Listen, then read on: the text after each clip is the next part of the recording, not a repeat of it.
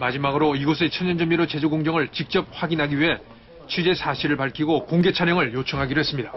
사실 저희는 예. 그 채널A 그 먹거리 엑스파일이라는 프로그램의 예. 제작진입니다. 여쭤보고 싶고 궁금한 것들도 있어서 다시 음. 한번 이렇게 좀 그래요? 찾아뵙습니다.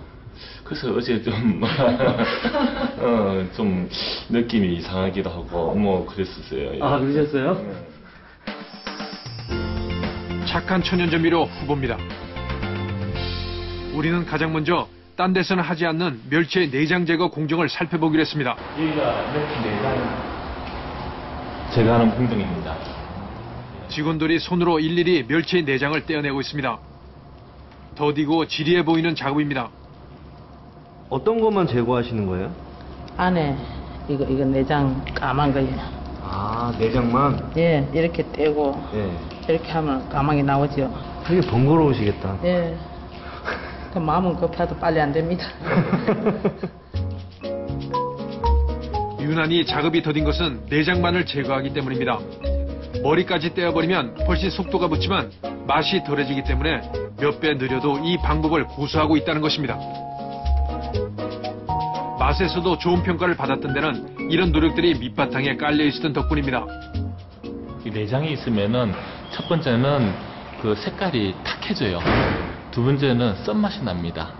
이 갈았을 때는 내장까지 들어가게 되면은 아무래도 또 그 지방이 또 그 미생물 번식 때문에 빨리 쉽게 변, 그 변질도 될 수 있는 우려도 있어요. 제품의 변질을 막기 위해선 원재료들의 완전 건조가 필수입니다.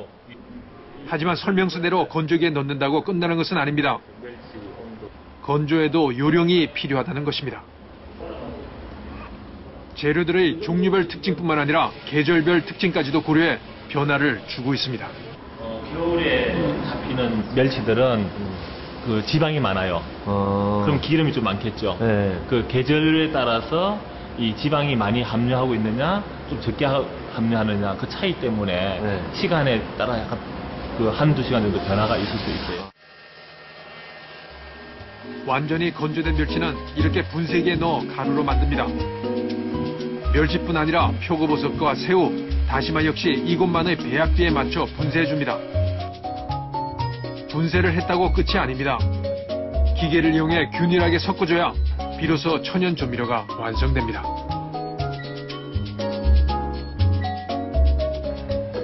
원재료 이외에 아무것도 첨가된 것이 없는 천연 조미료.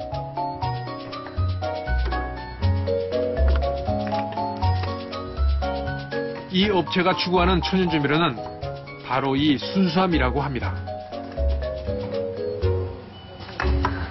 아주 우리 옛날로 돌아간다면은 뭐 어떤 첨가물을 뭐 이리저리 뭐 만들었겠습니까? 그냥 밭에서 난 거, 그 다음에 바다에서 채취한 거, 그걸 갖다가 살려서 그대로 맛을 내서 먹었지 않습니까? 그걸 재현한 거죠. 2000년대 초 천연조미료라는 말조차 생소했던 시절부터 천연조미료 개발에 몰두해온 서만숙 씨. 이 소리천에는 거의 지난 10년간의 세월이 고스란히 녹아있습니다.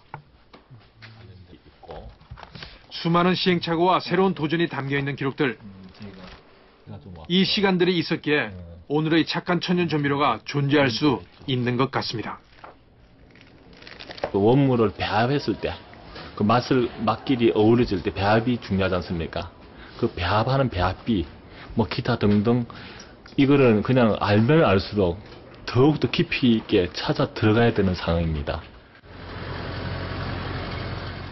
원재료의 질이 제품의 질로 직결되는 천연 조미료의 특성상 그가 가장 신경 쓰는 부분은 바로 원물 재료입니다. 이 지금 홍새우.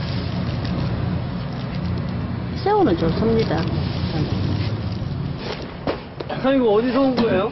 경남 통영 아... 어제 경매 봐가지고 오늘 왔습니다. 특히 또 멸치가 참 좋다고 예. 저 이래 붙어 있고 다 좋잖아요. 신선한 원재료들은 납품받는 즉시 냉장 창고로 이동해 보관됩니다. 재료들도 조금씩 자주 납품받아 신선도를 유지한다고 합니다. 여기서 사용하는 모든 재료는 국내산. 거래하는 업체들 대부분은 서만석 씨가 전국을 직접 발로 뛰어서 찾아낸 곳들이라고 합니다. 왜 직접 산지를 돌아다니는 수고를 계속하는 것일까? 중국산은 그 생산에서부터 품질을 믿을 수가 없잖아요. 그 국내산은 사실은 선상에서 하거나 어, 바로 하기 때문에 선도가 좋은데 중국산은 선상에서 거의 못하고 육상으로 가져와가지고 그 가공 처리를 하는데 그 가공 처리하는 물에서부터 건조 과정, 그 다음에 생산 취급하는 가공 공정이 사실은 믿을 수가 없어요. 직접 눈으로 확인해야 하는 성격 탓에 그는 요즘도 거래업체들을 방문하고 있습니다.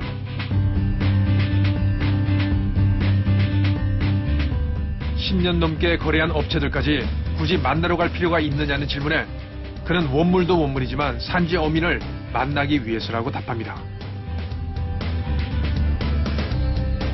직접 생산하는 어민들과 지속적인 교류를 해야 더 좋은 품질의 원물 재료를 얻을 수 있다는 것입니다. 여러 노하우들을 어민들과 공유하면서 원물들의 품질 개선이 가능하다는 겁니다. 산지에 와서 그가 가장 먼저 하는 일은 역시 원물을 살펴보는 일입니다. 바닷바람에 자연 건조 중인 다시마. 그렇다면 어떤 다시마가 좋은 다시마일까? 그리고 이제 다시마 이거 버리는 거잖아. 버리는 게 보면은 이거를 말리면은 그다음 이런 이런 색깔 연두 색깔 나옵니다. 이거는 다시도 안 되고 상품으로서 가치가 많이 떨어지죠. 이 쌈용도 아니고 다시용도 아니고 그래서 이거는 이제 빼는 거고 적어도 이 정도 두터워야 되고 이렇게 갈색빛이 나야 돼. 가장 많이 사용하는 재료인 다시마. 그런 만큼 그는 다시마에 대해서 모르는 것이 없습니다. 찐득하게 생기는데 이게 이제 그 말하는 그 알긴산. 어. 그리고 이 진이 건조되는 과정에서 하얀 분이 또 일어나요. 그걸 갖다 이제 만닛이라 그러지. 그게 이제 어떤 당 성분 일종인데 감칠맛을 내게 하는 성분 중에 하나라고 합니다. 제품이 좋은 것만 가져가죠. 초상기는 올해는 제품이 있어갖고 초상기 조금만 한 1톤 정도 가져가시고 그 다음에는 뭐 그 지금 이제 오늘 나온 거 모양 오늘 이런 거는 상품이 정상품입니다. 정상품 이런 거는 전량 다 들어가죠. 다 납니다. 가장 좋은 재료를 찾기 위해 전국으로 발품을 팔았다는 서만숙 씨. 그런 노력이 있었기에 거의 천연 조미료 제품이 전문가들에게 좋은 평가를 받게 된 것은 아닐까요?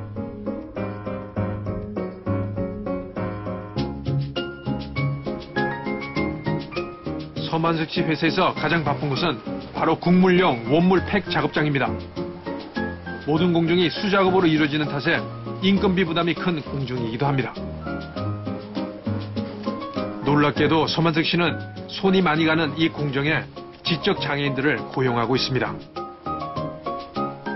물론 일반인들에 비해 생산량은 현격히 떨어지지만 이들의 뛰어난 집중력과 융통성 없는 작업 능력 덕분에 회사는 인건비를 낮추면서도 제품의 품질을 올릴 수 있었던 겁니다.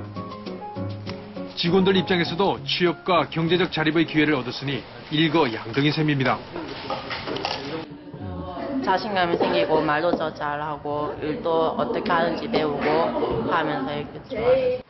중소기업 제품이라는 무시와 소비자들의 외면 속에서도 묵묵히 13년 전 자신이 세웠던 품질의 원칙을 지켜나가고 있는 서만석 씨. 이제 막 시작된 천연 조미료 붐은 그런 우직함이 통하는 시대가 도래했음을 보여주고 있습니다.